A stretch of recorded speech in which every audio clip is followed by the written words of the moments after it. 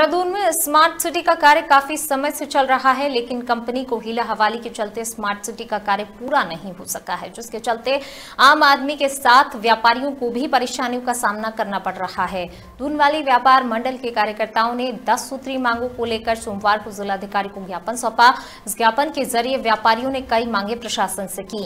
वहीं जिलाधिकारी सोनिका ने कहा कि स्मार्ट सिटी के कार्य के चलते व्यापारियों को दिक्कतों का सामना करना पड़ रहा है, लेकिन स्मार्ट सिटी का काम जोरों पर चल रहा है और जल्द ही उस काम को कर लिया जाएगा।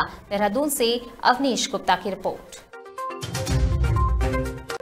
बाज़ार की बात है तो पल्टन बाज़ार में कार्य चल रहा है और हम कोशिश करेंगे कि इसको दिसंबर तक हम पूरा भी कर दें। प्लस इसमें फसाड की बात जो बता रहे हैं व्यापारीगण तो उनको पहले भी मैंने बताया है कि सर्वे चल रहा है अब दुकानों का टेंडर अलॉट हो गया है और कार्य भी प्रारंभ हो जाएगा तत्काल और अभी शॉपकीपर्स के साथ सर्वे चल रहा है इसका। आप भी समझते हैं?